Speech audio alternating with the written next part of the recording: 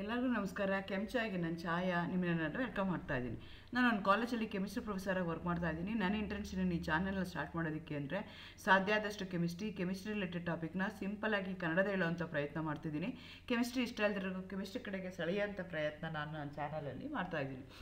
ಸದ್ಯಕ್ಕೆ ನೀವೇನಾದರೂ N E P ಪ್ರಕಾರ ಕೆಮಿಸ್ಟ್ರಿನ ನೀವು ಕೆಮಿಸ್ಟ್ರಿ ಸಬ್ಜೆಕ್ಟ್ ಓಪನ್ ಎಲೆಕ್ಟಿವ್ ಆಗಿ ತೊಗೊಂಡಿದ್ರೆ ಕೆಮಿಸ್ಟ್ರಿ ಇನ್ ಡೈಲಿ ಲೈಫ್ ಅನ್ನೋವಂಥ ಟಾಪಿಕಲ್ಲಿ ಕೆಮಿಸ್ಟ್ರಿನಲ್ಲಿ ತೊಗೊಂಡಿದ್ರೆ ಓಪನ್ ಎಲೆಕ್ಟಿವ್ ಆಗಿ ಒ ಇ ಆಗಿ ಟ್ವೆಂಟಿ ಟ್ವೆಂಟಿ ಟೂದು ಒಂದು ಕ್ವಶನ್ ಪೇಪರ್ ಬಂದಿದೆ. ಆ ಕ್ವಶನ್ ಪೇಪರು ಇವತ್ತು ವಿತ್ ಆನ್ಸರ್ಸ್ ಡಿಸ್ಕಸ್ ಮಾಡೋಣ ಅಂತ ಅಂದ್ಕೊಳ್ತಾ ಇದ್ದೀನಿ.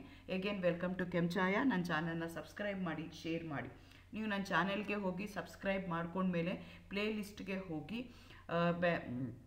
B C U open elective chemistry in daily life ಅಂತಂದರೆ ಅದಕ್ಕೆ ಸಂಬಂಧಪಟ್ಟಂಥ ಎಲ್ಲ ವೀಡಿಯೋಸು ನಿಮಗೆ ಒಂದೇ ಕಡೆಗೆ ಸಿಗ್ತಾ ಹೋಗುತ್ತೆ. ಸೊ ಪ್ರೀವಿಯಸ್ ಇಯರ್ ಕ್ವಶನ್ ಪೇಪರ್ನ ಡಿಸ್ಕಸ್ ಮಾಡಿ ಅಂತ ಹೇಳಿದರು. ಆ್ಯಕ್ಚುಲಿ ಕ್ವಶನ್ ಪೇಪರ್ನ ಹಾಕಿದ್ದೆ. ಅದಕ್ಕೆ ಆನ್ಸರ್ಸ್ನು ನಮಗೆ ಕಳಿಸಿ ಅಂತ ತುಂಬ ಜನ ರಿಕ್ವೆಸ್ಟ್ ಮಾಡ್ಕೊಂಡಿದ್ದಕ್ಕೆ ನಾನು ಇದನ್ನು ಈಗ ವೀಡಿಯೋನ ಮಾಡ್ತಾ ಇದ್ದೀನಿ. ಎಗೇನ್ ವೆಲ್ಕಮ್ ಟು ಕೆಮ್ ಕೆಂಚಾಯನ್ನ ಸಬ್ಸ್ಕ್ರೈಬ್ ಮಾಡಿ ಶೇರ್ ಮಾಡಿ. ಇದು already second year question paper ನಿಮಗೆ ಬರ್ತಾ ಇರೋವಂಥದ್ದು ಎನ್ ಇ ಪಿ ಓಪನ್ ಎಲೆಕ್ಟಿವ್ಗೆ ಕೆಮಿಸ್ಟ್ರಿ ಇನ್ ಡೈಲಿ ಲೈಫಲ್ಲಿ ಟ್ವೆಂಟಿ ಟ್ವೆಂಟಿ ಟೂನಲ್ಲಿ ನಿಮಗೆ ಒಂದು ಕ್ವಶನ್ ಪೇಪರ್ ಬಂದಿತ್ತು. ಆ ಕ್ವಶನ್ ಪೇಪರ್ನ ಇವತ್ತು ವಿತ್ ಆನ್ಸರ್ಸ್ ಡಿಸ್ಕಸ್ ಮಾಡೋಣ ಅಂತ ಅಂದ್ಕೊಳ್ತಾ ಇದ್ದೀನಿ. ನಿಮ್ಮ ಕ್ವಶನ್ ಪೇಪರಲ್ಲಿ ಮೂರು ಪಾರ್ಟ್ ಇರುತ್ತೆ. Part A part B part C part ಎನಲ್ಲಿ ನಿಮಗೆ ಟೂ ಮಾರ್ಕ್ಸ್ ಕ್ವಶನ್ಸ್ ಇರುತ್ತೆ. ಪಾರ್ಟ್ ಬಿನಲ್ಲಿ ನಿಮಗೆ ಫೈವ್ ಮಾರ್ಕ್ಸ್ ಕ್ವಶನ್ಸ್ ಇರುತ್ತೆ. ಪಾರ್ಟ್ ಸಿ ನಿಮಗೆ ಟೆನ್ ಮಾರ್ಕ್ಸ್ ಕ್ವಶನ್ಸ್ ಇರುತ್ತೆ. ಪ್ರತಿಯೊಂದು ಪಾರ್ಟು ಕಂಪಲ್ಸರಿ ನೀವೆಲ್ಲ ಬರೀಬೇಕಾಗತ್ತೆ. ಸಿನ್ಸ್ ಇದು ಕೆಮಿಸ್ಟ್ರಿ ಆಗಿರೋದಕ್ಕೋಸ್ಕರ ಎಲ್ಲೆಲ್ಲಿ ಡಯಾಗ್ರಾಮ್ಸ್ ಬೇಕು, ಎಲ್ಲೆಲ್ಲಿ ಈಕ್ವೇಷನ್ಸ್ ಬೇಕು, ಅದನ್ನೆಲ್ಲ ನೀವು ಬರೀಲೇಬೇಕಾಗತ್ತೆ. ಅವ್ರು ಕೇಳಿ ಕೇಳ್ದಲ್ಲಿ ದ ಕ್ವಶನ್ ಡಿಮ್ಯಾಂಡ್ಸ್ ನೀವು ಅದನ್ನೆಲ್ಲನೂ ಬರೀಬೇಕಾಗತ್ತೆ. ಜೊತೆಗೆ ಚಾಯ್ಸು ಇರುತ್ತೆ. ನೀವು ಸ್ಮಾರ್ಟಾಗಿ ಓದ್ಕೊಂಡು ಹೋಗಬೇಕಾಗತ್ತೆ. ಯಾವ್ದು ಈಗ ನನಗೆ ತುಂಬ ಕಾನ್ಫಿಡೆಂಟ್ ಇದೆ. ಅಲ್ಲಿ ತಪ್ಪಾಗ ಸಾಧ್ಯನೇ ಇಲ್ಲ. ನನಗೆ ಹಂಡ್ರೆಡ್ ಪರ್ಸೆಂಟ್ ಶೂರ್ ಇದೆ ಅದಕ್ಕೆ ಉತ್ತರ ಬಂದೇ ಬರುತ್ತೆ ಅಂತ ನಿಮ್ಗೆ ಯಾವ್ದು ಗೊತ್ತಿರುತ್ತಲ್ಲ? ಅದಕ್ಕೆ ನಿಮಗೆ, ಆ ಕ್ವಶನ್ಸ್ನ ನೀವು ಆನ್ಸರ್ ಮಾಡಿದ್ರೆ ಬೆಟರ್ ಆಗುತ್ತೆ. ಪಾರ್ಟ್ ಎನಲ್ಲಿ ಆ್ಯಕ್ಚುಲಿ ಟೂ ಮಾರ್ಕ್ಸ್ ಕ್ವಶನು ಒಟ್ಟು ಆರು ಇರುತ್ತೆ. ಆದರೆ ನೀವು ಆನ್ಸರ್ ಮಾಡಬೇಕಾಗಿರೋದು ಬರೀ ಐದನ್ನಷ್ಟೇ ನೀವು ಆನ್ಸರ್ ಮಾಡಬೇಕಾಗತ್ತೆ. ಹಾಗಾಗಿ ಅಲ್ಲಿ ಹತ್ತು ಮಾರ್ಕ್ ಬರುತ್ತೆ. ಪಾರ್ಟ್ ಬಿನಲ್ಲಿ ಫೈವ್ ಮಾರ್ಕ್ಸ್ ಕ್ವಶನ್ಸ್ ಇರುತ್ತೆ. ಆ ಫೈವ್ ಮಾರ್ಕ್ಸು ಮತ್ತೆ ಡಿವೈಡ್ ಆಗಿರುತ್ತೆ. ಅಲ್ಲಿ ಒಟ್ಟು ಆರು ಕ್ವಶನ್ ಕೊಟ್ಟಿರ್ತಾರೆ. ಆದರೆ ನೀವು ಆನ್ಸರ್ ಮಾಡುವಂಥದ್ದು ಬರೀ ನಾಲ್ಕು ಮಾತ್ರ ಆನ್ಸರ್ ಮಾಡ್ತೀರಾ. ಮತ್ತು ಅಲ್ಲೂ ಎರಡು ಕ್ವಶನ್ ನಿಮಗೆ ಎಕ್ಸ್ಟ್ರಾ ಇರುತ್ತೆ. ಆನ್ಸರ್ ಮಾಡೋದಕ್ಕೆ ಚಾಯ್ಸ್ ತೊಗೊಳೋದಕ್ಕೆ ನೆಕ್ಸ್ಟ್ ಪಾರ್ಟ್ ಸಿಗೆ ಬಂದರೆ ಟೆನ್ ಮಾರ್ಕ್ಸ್ಗೆ ಇರುತ್ತೆ. ಒಟ್ಟು ಐದು ಕ್ವಶನ್ ಇರುತ್ತೆ. ಐದರಲ್ಲಿ ನೀವು ಮೂವರ್, ಮೂರು ಆನ್ಸರ್ ಮಾಡ್ತೀರಾ, ಅಲ್ಲಿ ಮೂವತ್ತು ಮಾರ್ಕ್ ಬರುತ್ತೆ. ಸೊ ನೀವು before you enter to the examination hall ಎಕ್ಸಾಮಿನೇಷನ್ಗೆ ಹೋಗಿನ ಮುಂಚೆನೇ ನೀವು ಪ್ಲ್ಯಾನ್ ಮಾಡಿಕೊಂಡು, ನನಗೆ ಈ ಚಾಪ್ಟ್ರು ಈ ಯೂನಿಟು ಹಂಡ್ರೆಡ್ ಪರ್ಸೆಂಟ್ ಬರ್ತಾ ಇದೆ. ನಾನು ಇದಕ್ಕೆ ಕಾನ್ಫಿಡೆಂಟಾಗಿ ನನಗೆ ಯಾವುದೇ ಕ್ವಶನ್ಸ್ ಕೊಟ್ಟರು ಈ ಯೂನಿಟಲ್ಲಿ ನಾನು ಆನ್ಸರ್ ಮಾಡ್ತೀನಿ. ನಂಗೆ ಮಾರ್ಕ್ಸ್ ಬರುತ್ತೆ ಅಂತಾರೆ ವಿತ್ ದಟ್ ಇಂಟೆನ್ಷನ್ ಈಸಿ ಆಗುತ್ತೆ. ಅದ್ರ ಬಿಟ್ಟು ಕ್ವಶನ್ ಪೇಪರಲ್ಲಿ ಎಕ್ಸಾಮಿನೇಷನ್ ಹಾಲಲ್ಲಿ ಕೂತ್ಕೊಂಡು, ಇದನ್ನು ಆನ್ಸರ್ ಮಾಡಲ್ಲ ಅದನ್ನು ಆನ್ಸರ್ ಮಾಡಲ್ಲ ಅಂತ ಯೋಚನೆ ಮಾಡಿದ್ರೆ ನಿಮಗೆ ಟೈಮ್ ವೇಸ್ಟ್ ಆಗುತ್ತೆ. ಸೊ ನೀವು ಸ್ಮಾರ್ಟಾಗಿ ಹೋಗಬೇಕಾಗುತ್ತೆ. ನಿಮ್ಗೆ ಆಲ್ರೆಡಿ ಸ್ಕೀಮ್ ಹೇಗಿದೆ ಅಂತ ಗೊತ್ತಿದೆ. ಯಾವ ಥರ ಕ್ವಶನ್ ಪೇಪರ್ ಪ್ಯಾಟ್ರನ್ ಇದೆ ಅಂತ ಗೊತ್ತಿದೆ. ಯಾವ್ಯಾವ ಯೂನಿಟ್ಗೆ ಎಷ್ಟೆಷ್ಟು ಮಾರ್ಕ್ಸ್ ಬರುತ್ತೆ ಅಂತ ನಿಮ್ಗೆ ಆಲ್ರೆಡಿ ಗೊತ್ತಿರೋದ್ರಿಂದ ನೀವು ಪ್ಲ್ಯಾನ್ ಮಾಡಿಕೊಂಡು ಮೂವತ್ತೆರಡು ಮಾರ್ಕ್ ಎಕ್ಸ್ಟ್ರಾ ಇರುತ್ತೆ ನಿಮ್ಮ ಕ್ವಶನ್ ಪೇಪರ್ಲಿ ಒಟ್ಟು ಅರವತ್ತು ಮಾರ್ಕ್ ನಿಮಗೆ ಬರಿಬೇಕಾಗಿರೋದು. ಆದರೆ ನೈಂಟಿ ಟು ಮಾರ್ಕ್ಸ್ಗೆ ಅಷ್ಟು ತರ್ಟಿ ಟು ಮಾರ್ಕ್ಸ್ ಅಷ್ಟು ಎಕ್ಸ್ಟ್ರಾ ಯೂನಿಟ್, ಎಕ್ಸ್ಟ್ರಾ ಕ್ವಶನ್ಸ್ ಇರುತ್ತೆ ನಿಮ್ಮ ಕ್ವಶನ್ ಪೇಪರಲ್ಲಿ. ಸ್ಮಾರ್ಟಾಗಿ ನೀವು ಅದನ್ನು ಆ್ಯಕ್ಟ್ ಮಾಡಿಕೊಂಡು ಯಾವುದು ಓದ್ಬೋದು, ಯಾವುದು ಓದಲ್ಲ ಅಂತ ನೀವು ಎಕ್ಸಾಮಿನೇಷನ್ ಹಾಲ್ಗೆ ಎಂಟರ್ ಹಾಕಿನ ಮುಂಚೆ ನಾನು ಈ ಯೂನಿಟ್ ಮೇಲೆ ಯಾವುದೇ ಕ್ವಶನ್ ಕೊಟ್ಟರು ಬರದೇ ಬರಿತೀನಿ ಅನ್ನೋ ಕಾನ್ಫಿಡೆನ್ಸಲ್ಲಿ ನೀವು ಹೋದರೆ. ಹೋಯಿತು ಅಂದರೆ ಒಂದು ಔಟ್ ಆಫ್ ತ್ರೀ ಯೂನಿಟ್ ಒಂದು ಯೂನಿಟ್ ನೀವು ಬಿಟ್ಟರೂ ಔಟ್ ಆಫ್ ಔಟ್ ತೆಗೆಯೋದಕ್ಕೆ ನಿಮಗೆ ಎಲ್ಲ ರೀತಿಯಾದಂಥ ಚಾನ್ಸಸ್ಸು ಇದೆ.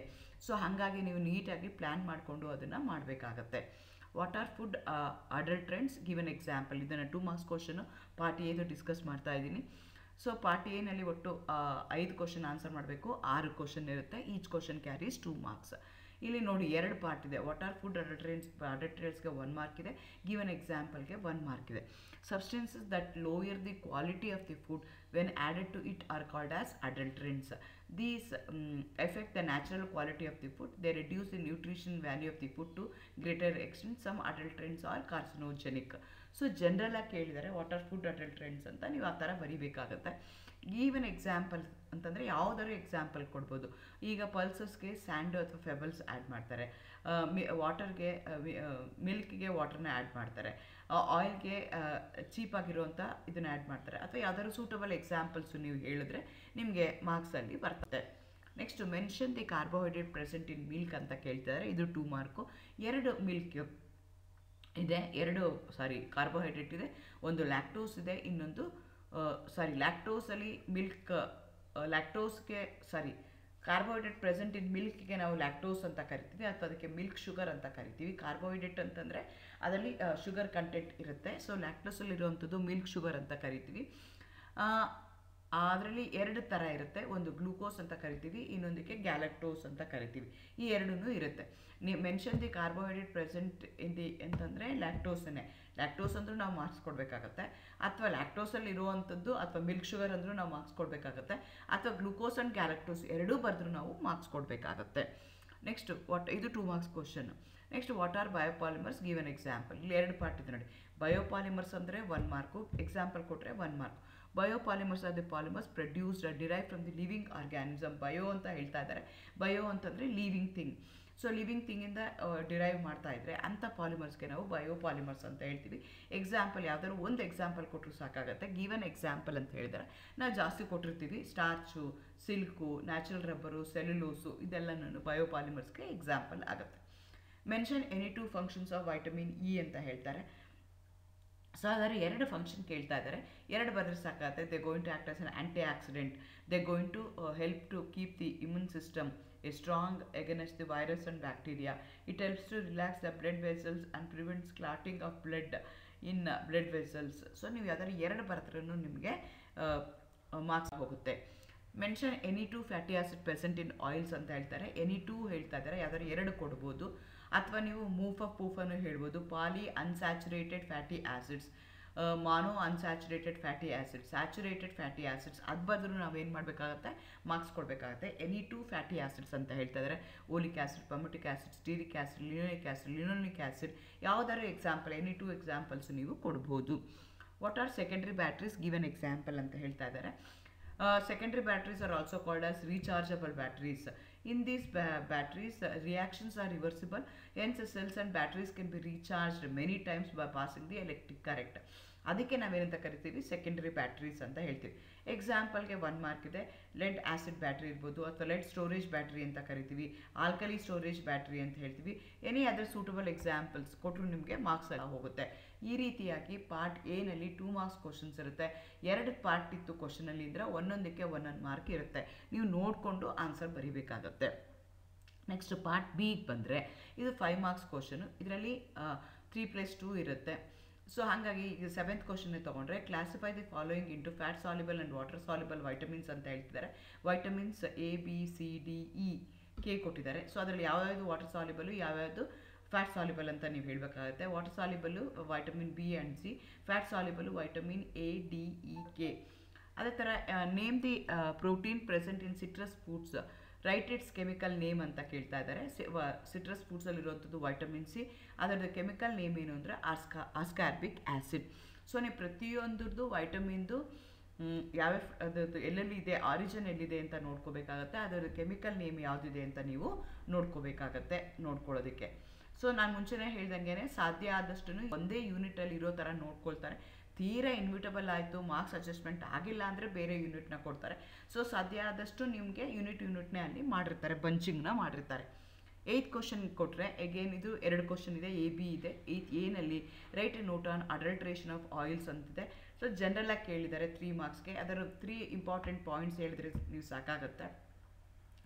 Adulteration of oil is defined as an addition of a cheaper, inferior, harmful, or unnecessary substances to oil that could affect the nature and quality of the oils. Some edible oils are expensive, which are mixed with the lower price vegetable oils and fats to achieve more profit. Edible, edi- edible oil are mixed with the argemina oil or linseed oil, cottonseed oil, palm oil.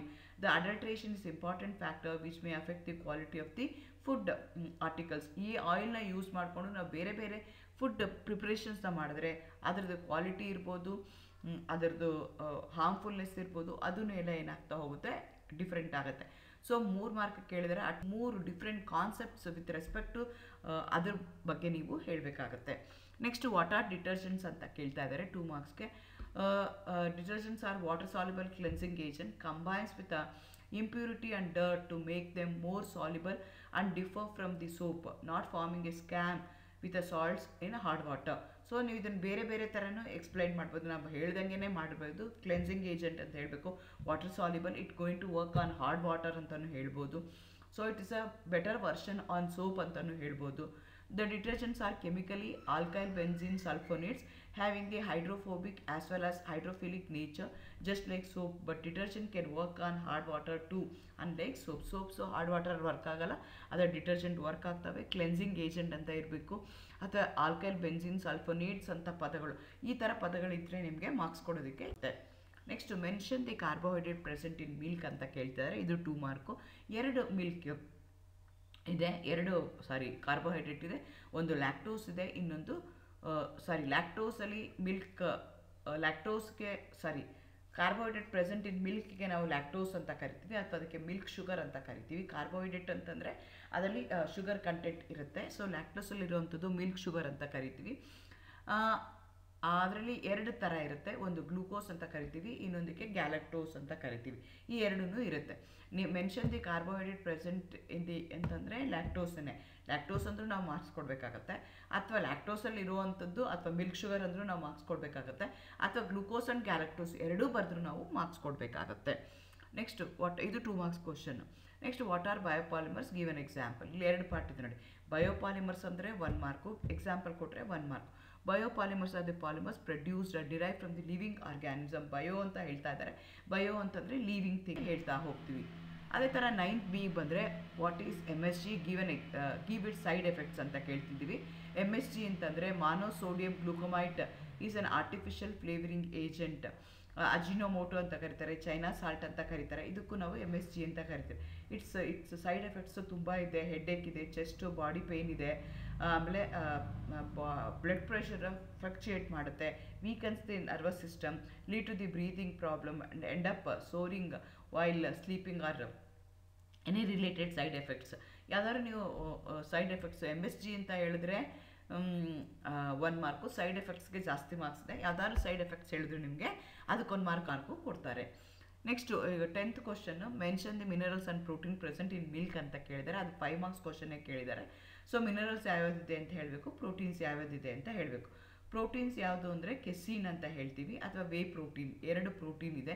ಈ ಎರಡು protein ಬರೆದ್ರೆ ಅಲ್ಲಿ ನಿಮಗೆ two marks ಬರುತ್ತೆ. Casein ಒಂದು whey protein next minerals ಯಾವ್ಯಾವ್ದಿದೆ ಅಂತ ಹೇಳಿದ್ರೆ ಅದಕ್ಕೆ ತ್ರೀ ಮಾರ್ಕ್ಸ್ ಇದೆ.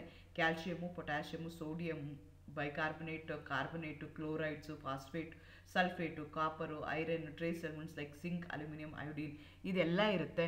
ಸೊ ಯಾವ್ದಾದ್ರು ಅಟ್ಲೀಸ್ಟ್ ನೀವು ಮಿನಿಮಮ್ ತ್ರೀ ಬರೆದ್ರು ನಿಮ್ಗೆ ಅಲ್ಲಿ ಮೂರು ಮಾರ್ಕು ಕೊಡ್ತಾರೆ. ಈ ರೀತಿಯಾಗಿ ಇದನ್ನು ಡೈರೆಕ್ಟಾಗಿ ಒಂದೇ ಕ್ವಶನ್ ಹೋಗುತ್ತೆ. ಈ ರೀತಿಯಾಗಿ ಪಾರ್ಟ್ ಎನಲ್ಲಿ ಟೂ ಮಾರ್ಕ್ಸ್ ಕ್ವಶನ್ಸ್ ಇರುತ್ತೆ. ಎರಡು ಪಾರ್ಟ್ ಇತ್ತು ಕ್ವಶನಲ್ಲಿ ಇದ್ದರೆ ಒಂದೊಂದಕ್ಕೆ ಒಂದೊಂದು ಮಾರ್ಕ್ ಇರುತ್ತೆ. ನೀವು ನೋಡಿಕೊಂಡು answer ಬರಿಬೇಕಾಗುತ್ತೆ.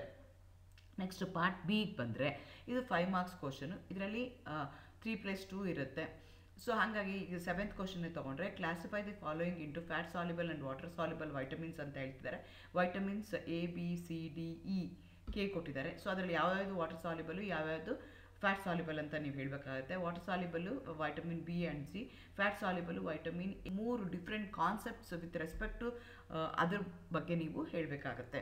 Next what are detergents ಅಂತ ಕೇಳ್ತಾ ಇದ್ದಾರೆ two ಮಾರ್ಕ್ಸ್ಗೆ detergents are water soluble cleansing agent combines with impurity and dirt to make them more soluble and differ from the soap, not forming a scam with the salts in hard water. So ನೀವು ಇದನ್ನು ಬೇರೆ ಬೇರೆ ಥರನೂ explain ಮಾಡ್ಬೋದು. ನಾವು ಹೇಳ್ದಂಗೆ ಮಾಡಬಹುದು cleansing agent ಅಂತ ಹೇಳಬೇಕು. Water soluble it going to work on hard water ಅಂತಲೂ ಹೇಳ್ಬೋದು. So it is a better version on soap ಅಂತಲೂ ಹೇಳ್ಬೋದು. The detergents are chemically alkyl benzene sulphonates having a hydrophobic as well as hydrophilic nature just like soap but detergent can work on hard water too unlike soap soap so hard water work work ಆಗಲ್ಲ ಅದರ detergent work cleansing agent anta irbeku ಇರಬೇಕು alkyl benzene sulfonates anta padagalu ee tara padagalu idre nimge marks ಕೊಡೋದಕ್ಕೆ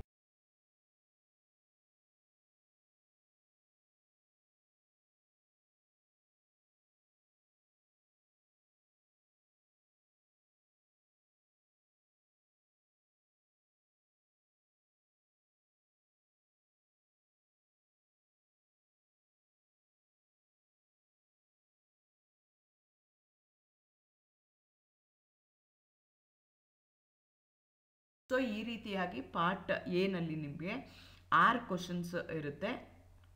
part ಬಿನಲ್ಲೂ part ಬಿನಲ್ಲಿ ನಿಮಗೆ part ಎನಲ್ಲಿ ನಿಮಗೆ ಐದು ಕ್ವಶನ್ ಇರುತ್ತೆ. ಪಾರ್ಟ್ ಬಿನಿಗೆ ನಾವು ಬಂದರೆ ಅದಕ್ಕೆ ನಿಮ್ಗೆ ಏನಾಗುತ್ತೆ ಅಂತಂದರೆ ಅಲ್ಲೂ ನಿಮಗೆ ಚಾಯ್ಸ್ ಇರುತ್ತೆ. ಅದು ಟೂ ಮಾರ್ಕ್ಸ್ ಕ್ವಶ್ ಅದು ಫೈವ್ ಮಾರ್ಕ್ಸ್ ಕ್ವಶನ್ಸ್ ಆಗಿರುತ್ತೆ. ಈಗ ನೀವು ಪಾರ್ಟ್ ಸಿಗೆ ಬಂದರೆ ಅದು ಥರ್ಟೀನ್ ಎ ಇಂದ ಸ್ಟಾರ್ಟ್ ಆಗುತ್ತೆ. ಇಲ್ಲಿ ನಿಮಗೆ ಏನು ಮಾಡ್ತೀವಿ ಅಂತಂದರೆ ನಿಮಗೆ ಟೆನ್ ಮಾರ್ಕ್ಸ್ ಕ್ವಶನ್ಸ್ ಇರುತ್ತೆ. ಆ ಟೆನ್ ಮಾರ್ಕ್ಸ್ನ ಮತ್ತೆ ಅದು ಮೂರು ಭಾಗವಾಗಿ ಎ ಬಿ ಸಿ ಆಗಿ ಅವರು ಡಿವೈಡ್ ಮಾಡಿರ್ತಾರೆ. What are artificial sweetening agent ನಾಲ್ಕು ಮಾರ್ಕ್ ಕೇಳಿದ್ದಾರೆ. ಅಟ್ಲೀಸ್ಟ್ ನೀವು ನಾಲ್ಕು ಮಾರ್ಕ್ ಕೇಳಿದಕ್ಕೋಸ್ಕರ ನಾಲ್ಕು point ಹೇಳಬೇಕಾಗತ್ತೆ. They are called as alternative sugar ಅಂತ ಕರಿತಾರೆ. ಶುಗರ್ ಸಬ್ಸ್ಟ್ಯೂಟ್ ಅಂತ ಕರಿತೇವೆ. It's a chemical added to some foods to make them taste like sugar or a corn sugar but they are non calorific sweetening agent they do not give any calorie just they going to give a taste calorie wise ಏನಿರಲ್ಲ ಅಂಥದಕ್ಕೆ ನಾವೇನಂತ ಕರಿತೀವಿ? Artificial sweetness ಅಂತ ಕರಿತಾರೆ. ನಾನ್ calorific sweetening agent ಅಂತ ಕರಿತೀವಿ. Usually it as a lower calorie calorific value than that of the sugar ಅಂತ ಹೇಳ್ತೀವಿ. ಎಕ್ಸಾಂಪಲ್ಸ್ ಹೇಳಬೇಕಾಗುತ್ತೆ. ಸ್ಯಾಕರಿನ್ ಇರ್ಬೋದು ಸಕರೋಲ್ ಆಸ್ಪಟಮ್ ಏಟ್ ಇರ್ಬೋದು. ಇದು ಯಾವ್ದಾದ್ರು ನೀವು ಎಕ್ಸಾಂಪಲ್ಸ್ನ ಅಲ್ಲಿ ಮಾಡ್ಕೋಬೇಕಾಗತ್ತೆ. ಲೆವೆಂತ್ ಬಿ ಬಂದರೆ ಅದು ತ್ರೀ ಮಾರ್ಕ್ಸ್ ಕ್ವಶನ್ ಇದೆ. How do detect the presence of chicory in the commercial sample of coffee ಅಂತ ಹೇಳ್ತಿದ್ದಾರೆ. ನಾವು ಟ್ರಾನ್ಸ್ಪರೆಂಟ್ ಗ್ಲಾಸ್ ತೊಗೊಂಡು ಅದರಲ್ಲಿ ವಾಟರ್ ತುಂಬಿ, ಅದರಲ್ಲಿ ಒಂದು ಪಿಂಚ್ ಕಾಫಿ ಪೌಡರ್ ಹಾಕಿ ಇನ್ ಟು ಇಟ್ ಜೆಂಟ್ಲಿ ಆಮೇಲೆ if the powder floats some time before sinking it is coffee if the powder sinks quickly it is a chicory or some other seed if readily diffuse brownish yellow colour it contains a chicory or a caramel are called as food preservatives so ಈ ರೀತಿಯಾಗಿ ನಮ್ಮ ಸ್ಯಾಂಪಲಲ್ಲಿ chicory ಇದೆಯಾ ಇಲ್ವಾ ಅಂತ ನಾವು using a water we are going to check so ಇದನ್ನು ನೀವು ಮೂರು ಕಂಡೀಷನ್ಸ್ನ ಹೇಳಿದರೆ ಮೂರು ಮಾರ್ಕು ನಿಮಗೆ ಬರ್ತಾ ಹೋಗುತ್ತೆ. ಅದೇ ಥರ ತರ್ಟೀನ್ ಸಿಗೆ ಬಂದರೆ ಇದು three marks question what are food preservative give any two examples ಅಂತ ಹೇಳ್ತಾರೆ. ಫುಡ್ ಪ್ರಿಸರ್ವೇಟಿವ್ಗೆ ಒನ್ ಮಾರ್ಕು ಫುಡ್ ಪ್ರಿಸರ್ವೇಟಿವ್ ಎಕ್ಸಾಂಪಲ್ಸ್ಗೆ ಟೂ ಮಾರ್ಕ್ಸ್ ಕೊಟ್ಟಿದ್ದಾರೆ. A chemical substance that stop the growth of bacteria in food and prevents spoilage and discoloration are called as food preservatives example benzoates ಇರ್ಬೋದು sulphates ಇರ್ಬೋದು sorbates ಇರ್ಬೋದು ಪ್ರೊಪನೇಟ್ಸ್ ಇರ್ಬೋದು nitrates ಇರ್ಬೋದು ಇವೆಲ್ಲನೂ example ಯಾವ್ದಾದ್ರು ಎರಡು ಎಕ್ಸಾಂಪಲ್ ಕೊಟ್ಟರು ನೀವು ಸಾಕಾಗತ್ತೆ. ಫೋರ್ಟೀನ್ತ್ ಕ್ವಶನ್ ಬಂದರೆ what are food contaminants given examples ಅಂತ ಹೇಳ್ತಿದ್ದೀವಿ. ಇದು ಟೂ ಮಾರ್ಕ್ಸ್ ಕೇಳಿದ್ದಾರೆ. Food contaminants as a name indicates it's a contaminant that makes food unfit for human consumption ಅಂಥದಕ್ಕೆ ನಾವೇನಂತ ಕರಿತೀವಿ? ಫುಡ್ ಕಂಟಾಮಿನೆಂಟ್ ಅಂತ ಕರಿತೀವಿ. ಅದು ಬಯಾಲಜಿಕಲ್ ಆಗಿರ್ಬೋದು ಕೆಮಿಕಲ್ ಆಗಿರ್ಬೋದು ಬಯೋಕೆಮಿಕಲ್ ನೇಚರಲ್ಲಿ ಇರ್ಬೋದು. Biological species of bacteria parasites insects and other micro organism ಕೆಮಿಕಲ್ಗಾದರೆ pesticides herbicides ಅಥವಾ ಮರ್ಸ್ ಮರ್ಕ್ಯುರಿ ಆರ್ಸೆನಿಕ್ ಅಂಡ್ ಅದರ್ ಟೆಕ್ಸ್ ಫಿಸಿಕಲ್ ಅಂತಂದರೆ ಪ್ಲಾಸ್ಟಿಕ್ಕು ಸ್ಟೀಲು ಹುಲ್ಲು ಗ್ಲಾಸು ಮೆಟಲ್ಸು ಇದು ನೋಯಿಂಗ್ಲಿ ಆರ್ ಅನ್ನೋಯಿಂಗ್ಲಿ ನಾವು ಫುಡ್ ಒಳಗಡೆಗೆ ಡ್ಯೂರಿಂಗ್ ಪ್ಯಾಕೇಜ್ ಇರ್ಬೋದು ಡ್ಯೂರಿಂಗ್ ಕ್ಲೀನಿಂಗ್ ಇರ್ಬೋದು. ಡ್ಯೂರಿಂಗ್ ಟ್ರಾನ್ಸ್ಪೋರ್ಟ್ ಆಗಿರ್ಬೋದು, ಅದು ಬಂದು ಸೇರಿಕೊಂಡಿರ್ಬೋದು, ಅಂಥದಕ್ಕೆ ನಾವು ಫುಡ್ ಕಣ್ಸ್ ಅಂತ ಕರಿತೀವಿ. ಫೋರ್ಟೀನ್ತ್ ಬಿ ಬಂದರೆ how do detect the presence of argemone oil ಅಂತ ಕೇಳ್ತಿದ್ದಾರೆ. ಇದು ತ್ರೀ ಮಾರ್ಕ್ಸ್ ಕೇಳಿದ್ದಾರೆ. ಅರ್ಜಮಿನ್ ಆಯಿಲ್ ಐಡಿಬಲ ಆಯಿಲ್ ಇದೆಯಾ ಅನ್ನೋದಕ್ಕೆ ನಮಗೆ ರಿಯೇಷನ್ಸ್ ಏನೇನು ಬೇಕಾಗುತ್ತೆ? ಸ್ಯಾಲಿಸಲಿಕ್ ಆ್ಯಸಿಡ್ ಬೇಕಾಗುತ್ತೆ. Next concentrated nitric acid concentrated sulphuric ಆ್ಯಸಿಡ್ನ ತೊಗೊಂಡು ಕೆಮಿಕಲ್ ಮೆಥಡ್ ಯೂಸ್ ಮಾಡಿ ನಾವು ಇದನ್ನು ಚೆಕ್ ಮಾಡಬೇಕಾಗತ್ತೆ. Take few drops of oil in a test tube or a melted fat. Even ಗೀಗೂ ನಾವು ಇದೇ ಟೆಸ್ಟ್ನ ಮಾಡ್ಬೋದು. Add successively point five M L of two percent salicylic acid solution two M L of concentrated nitric acid finally two to four drops of concentrated sulphuric acid shake well observe the development of colour crimson red red color within 20 to 30 second indicates the presence of arjuman oil. No color change is observed. It's a pure oil. ಈ test ಮಾಡಿ ನಾವು ಕೊಟ್ಟಿರುವಂಥ ಸಬ್ಸ್ಟೆನ್ಸಲ್ಲಿ ಅರ್ಜುಮನ್ oil ಇದೆಯಾ ಇಲ್ವಾ ಅಂತ ನಾವು check ಮಾಡ್ತೀವಿ. Argemone oil is a cheap quantity of the cheaper priced oil that generally added to well oil. Uh, give the importance and mention the deficiency symptoms of vitamin A and D ಅಂತ ಕೇಳ್ತಾರೆ. Vitamin ಎಗೆ ನಾವೇನಂತ ಕರಿತೀವಿ? Retinol ಅಂತ ಕರಿತೀವಿ. Vitamin ಡಿಗೆ sunshine ಅಥವಾ ಕ್ಯಾಲ್ಸಿಫೆರಲ್ಸ್ ಅಂತ ಕರಿತೀವಿ. ಅದು ನಿಮಗೆ ಆಯು ಇದು ಅಂದರೆ ಕೆಮಿಕಲ್ ನೇಮ್ ಗೊತ್ತಿರಬೇಕಾಗತ್ತೆ ಅದ್ರದ್ದು. ಸೊ ಎ ಆ್ಯಂಡ್ ಡಿದು ನಮಗೆ ಈಗ ಏನದು ಇಂಪಾರ್ಟೆನ್ಸು ಮತ್ತು ಅದರದ್ದು deficient symptoms ಹೇಳಬೇಕಾಗತ್ತೆ vitamin E maintains the uh, of the skin and digestive, respiratory and urinary system. It guards against the cancer by protecting the cell walls from the undesirable oxidation, scavenging the product of oxidation. A deficiency lead to the um, metabolic process in the body, night blindness ಆಗ್ಬೋದು softening of cornea ಆಗ್ಬೋದು hard and thorny skin ಆಗ್ಬೋದು stunted growth ಆಗ್ಬೋದು, ಇದೆಲ್ಲನೂ ಅದ್ರದ್ದು ಡಿಫಿಷಿಯನ್ಸಿಯಿಂದ ಬರುವಂಥ ರೋಗಗಳು. ಅದೇ ಥರ ವೈಟಮಿನ್ ಡಿ ಅಂದರೆ it plays an important role in the calcification of the bones and teeth enhances the absorption of calcium salts and phosphate from the gut deficiency ಏನಾಗುತ್ತೆ ಅಂದರೆ causes rickets defective bone formation adult demineralisation of the bone takes place causing softening of the bone subjected to the fracture ಯಾವ್ದಾದ್ರು ನಿಮಗೆ ಅವ್ರು ಏನು ಹೇಳ್ತಿದ್ದಾರೆ given important mention the deficiency symptom ಅಂತ ಹೇಳ್ತಾರೆ. ನೀವು ಇದಕ್ಕೆ ಇಂಪಾರ್ಟೆ ಒಂದೊಂದಕ್ಕೆ ಈಗ ವಿಟಮಿನ್ ಎಗೆ ಟೂ ಮಾರ್ಕ್ಸ್ ಇದೆ ವಿಟಮಿನ್ ಡಿಗೆ ಟೂ ಮಾರ್ಕ್ಸ್ ಇದೆ. ವಿಟಮಿನ್ ಎ ಒಂದು ಇಂಪಾರ್ಟೆನ್ಸ್ ಹೇಳಿದರೆ ಒನ್ ಮಾರ್ಕು ಅದರದ್ದು ಡಿಫಿಷಿಯನ್ಸಿ ಹೇಳಿದರೆ ಒನ್ ಮಾರ್ಕ್ ಅದೇ ಥರ ವಿಟಮಿನ್ ಡಿದು ಒಂದು ಇಂಪಾರ್ಟೆನ್ಸ್ ಹೇಳಿದರೆ ಒನ್ ಮಾರ್ಕು ಡಿಫಿಷಿಯನ್ಸಿ ಹೇಳಿದರೆ ಒನ್ ಮಾರ್ಕ್ ಯಾವ್ದಾದ್ರು ಒಂದು ಹೇಳಿದ್ರು ನಿಮಗೆ ಸಿಗುತ್ತೆ to get four marks fifteenth ಕ್ವಶನ್ಗೆ ಬಂದರೆ what is the rancidity of oils and fats how it is prevented ಅಂತ ಕೇಳ್ತಾರೆ. Rancidity is a chemical change resulting in an unpleasant odour and taste in fats and oils when exposed to light, heat, air and moisture. There are two types ಇದೆ. ಒಂದಕ್ಕೆ oxidative rancidity ಅಂತ ಕರಿತೀವಿ. ಇನ್ನೊಂದಕ್ಕೆ ಹೈಡ್ರೋಲೇಟಿವ್ ಹೈಡ್ರೋಲೆಟಿಕ್ rancidity ಅಂತ ಕರಿತೀವಿ. Oxidative ರ್ಯಾನ್ಸಿಡಿಟಿನೂ it going to create a unpleasant odour which make unfit for eating purposes ಅಥವಾ ಅಂಥದಕ್ಕೆ ನಾವೇನಂತ ಕರಿತೀವಿ ಅಂತಂದರೆ ಡ್ಯೂ ಟು ಆಕ್ಸಿಡೇಷನ್ ಆಗ್ತಾ ಇರುತ್ತೆ. Oxidation of the double bond of the fatty acid in a fat forming a short chain aldehydes or ketone which have a unpleasant odour it is enhanced by exposure to the light it can be prevented by adding the antioxidants like vitamin E and B H A ಅದೇ ಥರ ಹನ್ನೊಂದು type ಇದೆ. ಅದಕ್ಕೆ ನಾವು hydrolytic ಅಂತ ಹೇಳ್ತೀವಿ. Caused by the enzyme present in the fat in presence of moisture and warm temperature hydrolyse to ester uh, ester bond releasing the free fatty acid these cause the unpleasant smell Mm, there is a very very small in butter this is very common in butter it can be prevented by refrigeration or pasteurization so ಇದು general ಆಗಿದೆ ನೀವು general ಆಗಿ answer ಮಾಡಿದ್ರೆ four marks ನಿಮಗೆ ಸಿಗ್ತಾ ಹೋಗುತ್ತೆ fifteenth B ಬಂದರೆ what are food additives given example ನೋಡ್ಕೋಬೇಕು ಅಡಿಟಿವ್ಸ್ ಅಂದರೆ ಬೇರೆ ಕಂಟ್ಯಾಮಿನೆಂಟ್ಸ್ ಅಂದರೆ ಬೇರೆ ಕಲರೆಂಟ್ಸ್ ಅಂದರೆ ಬೇರೆ ಇರುತ್ತೆ ಫುಡ್ ಅಡಿಟಿವ್ಸ್ ಅಂದರೆ these are substances added in order to increase increase the flavour freshness enhance texture taste ಇದಕ್ಕೆ ನಾವೇನಂತ ಕರಿತೀವಿ? ಫುಡ್ ಅಡಿಟಿವ್ಸ್ ಅಂತ ಕರಿತೀವಿ. They may be good they may be bad also two example ಕೊಡಿ ಅಂತ ಹೇಳ್ತಿದ್ದಾರೆ. Ascorbic acid calcium sir sorbates calcium nitrate vanilla monosodium glutamate mono and di glycerols ಇದೆಲ್ಲ ನಿಮಗೆ ಎಕ್ಸಾಂಪಲ್ಸ್ ಮೂರು different concepts with respect to ಅದ್ರ ಬಗ್ಗೆ ನೀವು ಹೇಳಬೇಕಾಗತ್ತೆ. ನೆಕ್ಸ್ಟ್ ವಾಟ್ ಆರ್ ಡಿಟರ್ಜೆಂಟ್ಸ್ ಅಂತ ಕೇಳ್ತಾ ಇದ್ದಾರೆ two ಮಾರ್ಕ್ಸ್ಗೆ detergents are water soluble cleansing agent combines with a impurity and dirt to make them more soluble and differ from the soap not forming a scam with a salts in hard water so ನೀವು ಇದನ್ನು ಬೇರೆ ಬೇರೆ ಥರನೂ explain ಮಾಡ್ಬೋದು. ನಾವು ಹೇಳ್ದಂಗೆ ಮಾಡಬಹುದು cleansing agent ಅಂತ ಹೇಳಬೇಕು. Water soluble it going to work on hard water ಅಂತಲೂ ಹೇಳ್ಬೋದು. So it is a better version on soap ಅಂತಲೂ ಹೇಳ್ಬೋದು. The detergents are chemically alkyl benzene sulphonates the hydrophobic as well well hydrophilic nature just like soap but detergent can work on hard water too on like soap soap so hard water work ಆಗಲ್ಲ ಅದರ detergent work ಆಗ್ತವೆ. Cleansing agent ಅಂತ ಇರಬೇಕು. ಅಥವಾ alkyl benzene sulphonates ಅಂತ ಪದಗಳು. ಈ ಥರ ಪದಗಳಿದ್ದರೆ ನಿಮಗೆ ಮಾರ್ಕ್ಸ್ ಕೊಡೋದಕ್ಕೆ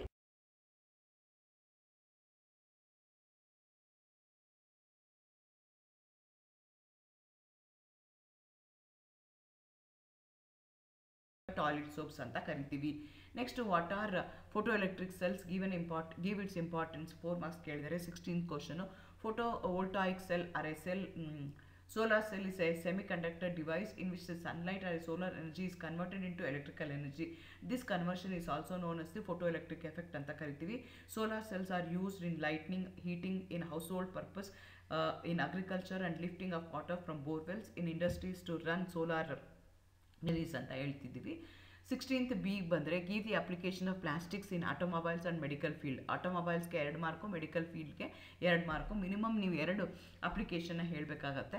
ಮೆಡಿಕಲ್ ಫೀಲ್ಡ್ಗೆ ಬಂದರೆ ಬಯೋ ಸಿಜರ್ಸಲ್ಲಿ ಯೂಸ್ ಮಾಡ್ತಾರೆ. ಬ್ಲಡ್ ಬ್ಯಾಗ್ ಬ್ಯಾಗ್ಸಲ್ಲಿ ಯೂಸ್ ಮಾಡ್ತೇವೆ. Insulin pens dialysis machine heart valves surgical gloves ಅಲ್ಲೆಲ್ಲ ನಿಮಗೆ ಪ್ಲಾಸ್ಟಿಕ್ನ ಯೂಸ್ ಮಾಡ್ತಾರೆ.